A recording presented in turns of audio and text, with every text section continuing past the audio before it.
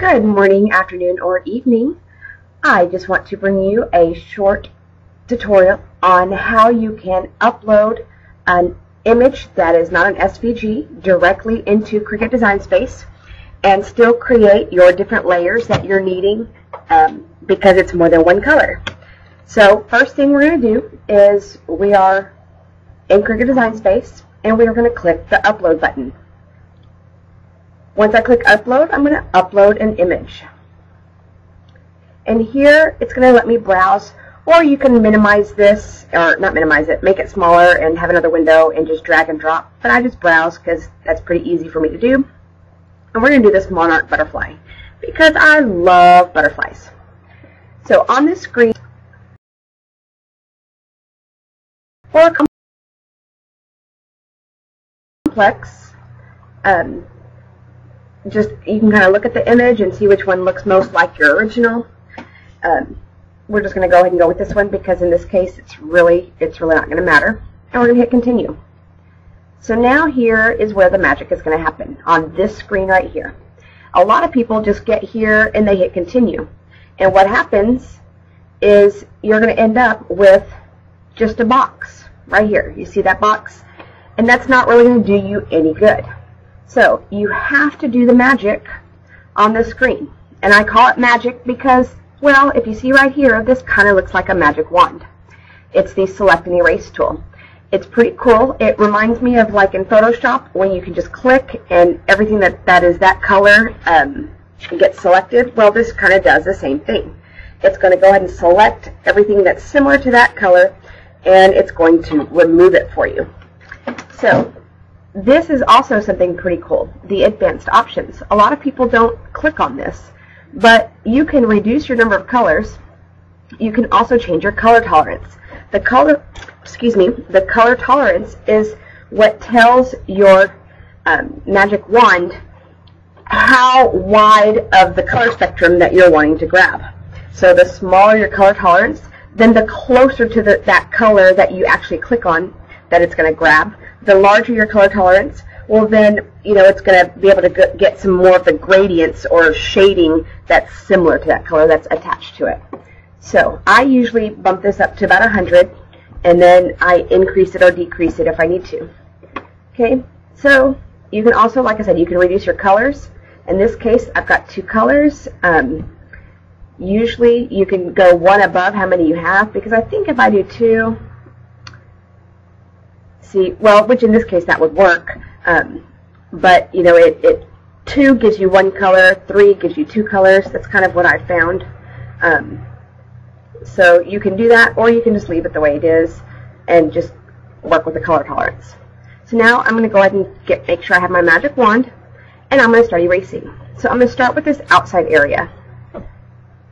So I've gotten rid of what we call the background. And if you preview it, you can see that that would work if I wanted a single color image. Um, or if I wanted to do print and cut, I would get rid of that background so then it would print the butterfly and it would cut just along the edges. But I don't. I want to actually cut this out in two different colors. So I'm going to go ahead and get rid of the orange. So I'm going to zoom in just a little bit because I'm old and my eyes don't work great. And I'm going to start clicking on all of this orange.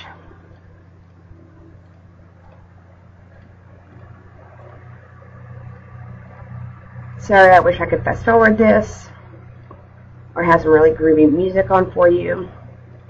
So just bear with me as I'm clicking here.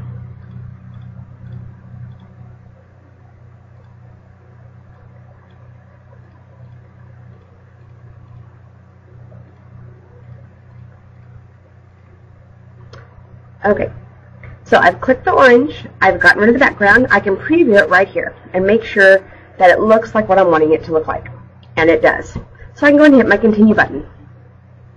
You have two options. You can do a save as print then cut or save as a cut. But like I said, since I am going to actually cut this out, I'm going to go ahead and save it as a cut image. If you mess up here and you leave it as print then cut, no big deal. You can change it later in your layers tab as long as um, you did get rid of everything. So now I'm going to change this to black layer. And I'm going to save it. You're probably thinking, um, she's only got one color there. Yes. So now what I have to do is I've got to go and upload the same image again. And this is because I've got another color to work with. So this time though, since I kept the black last time, I'm going to make this again. I'm going to change my color tolerance. And I'm going to get my magic wand, get rid of the background, and then get rid of the black. And now I'm just left with the orange. So I'm going to go ahead and hit continue. Oh, see that doesn't look very good, so I'm going to go back. See, That's what I get for not previewing it, right? So I'm going to bump it up even more.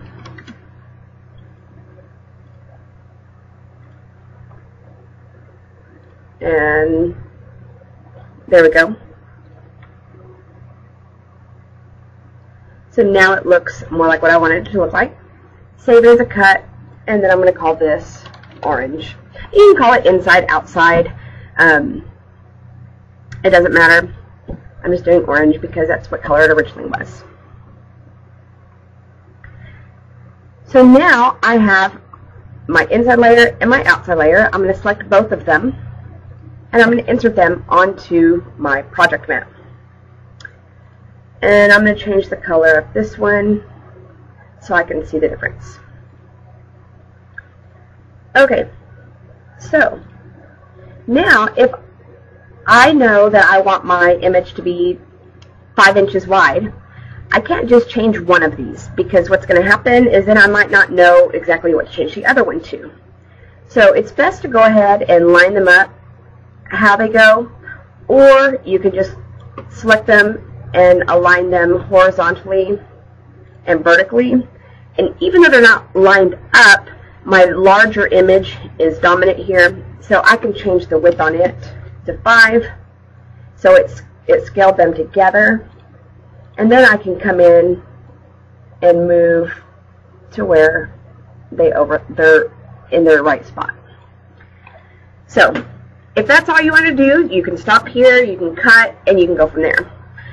I'm weird and I like to do what I call a weeding box. It helps for two reasons. First, it helps me have a rectangle or a square around my um, image that's going to get cut out, so it helps me when I'm weeding. Um, but most importantly, it helps when I'm lining up these pieces um, to layer them on my finished product. So I'm going to go ahead and do that real quick. So I come over here to shapes, and I'm going to put a square in. I'm going to take what I created, I'm going to group it together, and I see that it's 5 inches wide. So I need to make sure that this is just a little, I'm going to unlock this, just a little bit more than 5. So it's a little bit wider and a little bit taller. Okay, and I need two of them because I had two layers. If you remember, I had orange and black, so I'm going to duplicate that. Move that to the back. So now I'm going to take everything, I'm going to align it uh, horizontally and vertically. Okay, now I'm ready to actually make these weeding boxes work for me. I'm going to take my group and ungroup it. Everything's in the exact same spot. So over here, my layers tab, I'm going to grab my black, and I'm going to grab one of the squares by holding down my shift key. And I'm going to attach those. So those have been attached together now. I'm going to move them out of my way. Now I'm going to take my other piece of butterfly and my other square, actually it's a rectangle, and I'm going to attach those. So now, when I go to cut out, it's going to cut this box around, and it's going to cut my pieces on the inside, so I'll actually be weeding this area between the box and the butterfly wings. Um, and that'll help me, again, whenever I get ready to line them up, I'll have a straight edge here on all four sides that I can match up with both pieces and layer them exactly where they're supposed to go. So that is how I take an image that I find and I can just upload it into Cricut Design Space without having to create an SVG, um, just using the tools that Cricut has provided. And then, as a little, the little bonus was showing you how I make a weeding box to make weeding these easier, uh, which again helps save on vinyl and it saves some uh, some headache when you go to layer. So hope you guys enjoyed this video and uh, see you next time.